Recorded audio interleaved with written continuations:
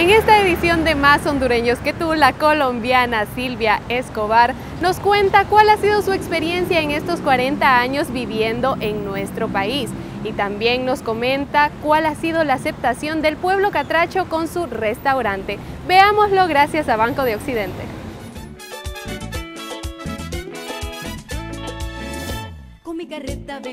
Hola, soy Silvia Escobar de Echeverry, soy de nacionalidad colombiana, residiendo en este país hace 40 años.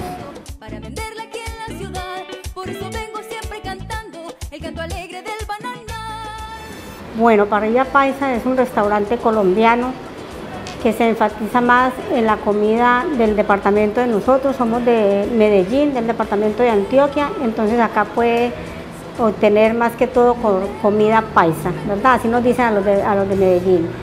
Este restaurante nació a raíz de la inquietud de la gente, porque anteriormente fuimos restaurante La Tranquera, lo dejamos por unos años y pues la gente nos decía por qué cerraron, hace falta, la comida es rica, no hay restaurantes colombianos, entonces esa inquietud se la fueron creando a mi esposo y nos metimos de nuevo en este rubro. El negocio es agradecido, es muy bueno, nos gusta mucho porque tenemos mucho contacto con la gente, específicamente el hondureño, porque tengo que decirlo que la mayor parte de los clientes son hondureños y gente de otros lados que nos visita.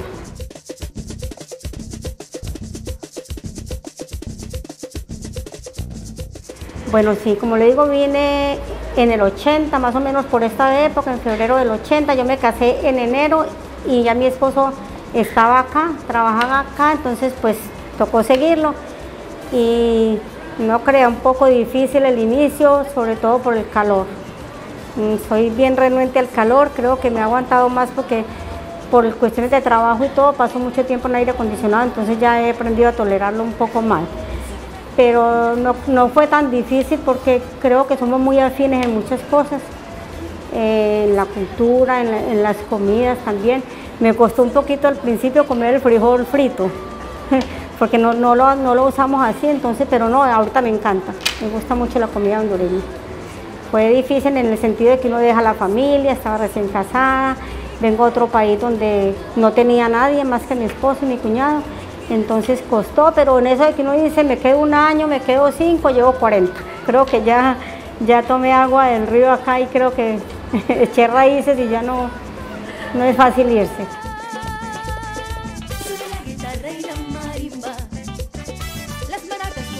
Ah, mira, a mí me gusta mucho lo que yo le llamaría golosinas acá, me gustan mucho los tamales, me parece que la masa del tamal aquí es deliciosa, eh, las enchiladas, las baleadas, aunque no como mucho por lo de la harina, pero sí me gustan mucho, me parece que tienen muy buena sazón en las sopas también, yo creo que todo es rico.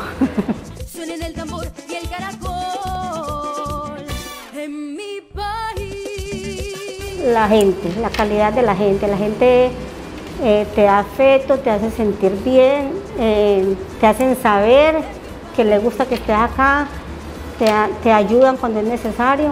Yo creo que tienen calidad de gente. Sí, me gusta mucho la, forma de ser del hondureño, eh, porque es calidoso, decimos nosotros. Es gente afectiva, es gente, como te digo, que, te ayuda, es gente que te hace sentir como si lo conocieras de siempre.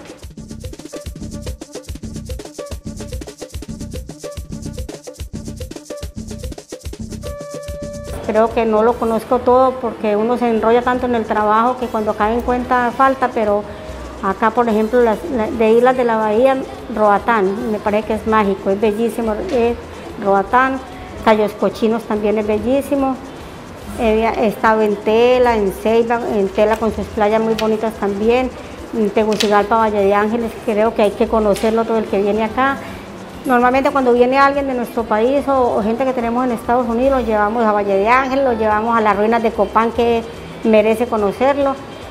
Eh, por todos lados, he estado en Comayagua, estuve en la Semana Santa y eso me pareció a mí que como que me identificó con lo nuestro. Nosotros en Semana Santa las procesiones, la gente, la devoción, me pareció muy bonito esa modalidad que tienen con las alfombras.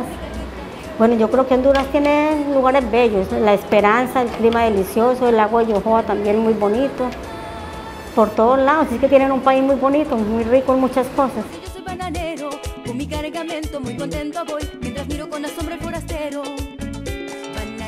Trato de, que, de, usarlas de, siempre, pero hay cosas curiosas que me gustan, por ejemplo, cuando dicen, cuando tratan a los niños con diferentes expresiones, como, dicen ustedes, el guirro, el cipote, nosotros les decimos pelados, los pelados, los niños, eh, eh, bueno, eh, dicen por ejemplo, Hyondas, Hyondas, es como, que qué pues?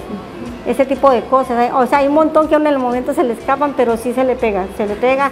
Y cuando uno llega al país, yo no digo, ¿dónde estará el paste? Se quedan en mi casa y piensa qué quiere. No entonces la esponja, de lavar, o sí, de paste no, no saben qué, de ese tipo de cosas, ahí donde uno ve que sí se le pega, porque allá las, allá las utiliza.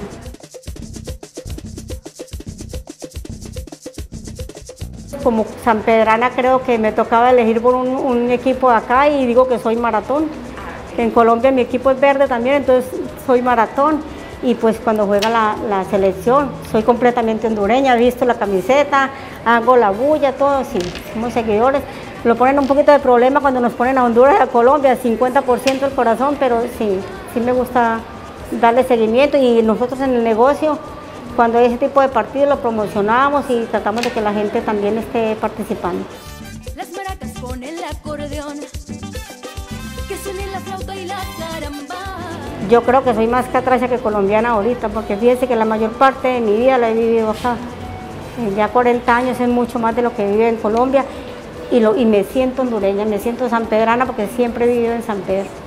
Sí puedo decirle que, que me siento hondureña y quiero Honduras.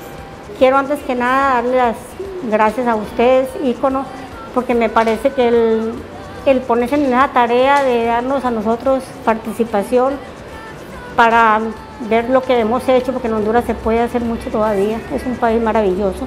Entonces, gracias por eso, porque realmente podemos resaltar. Yo a los hondureños siempre le digo, tienen un gran país. Creo que les falta un poquito de sentido de pertenencia, de decir, porque reconocer todo lo bueno que tiene Honduras, aquí todavía se puede hacer mucho.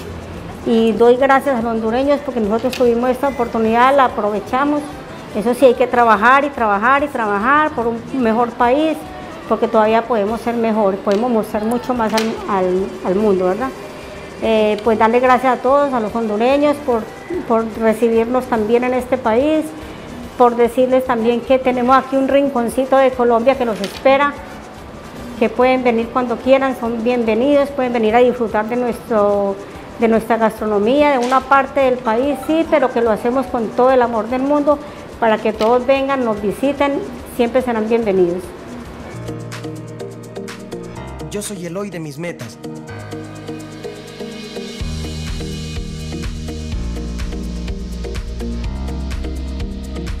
Hoy emprendo.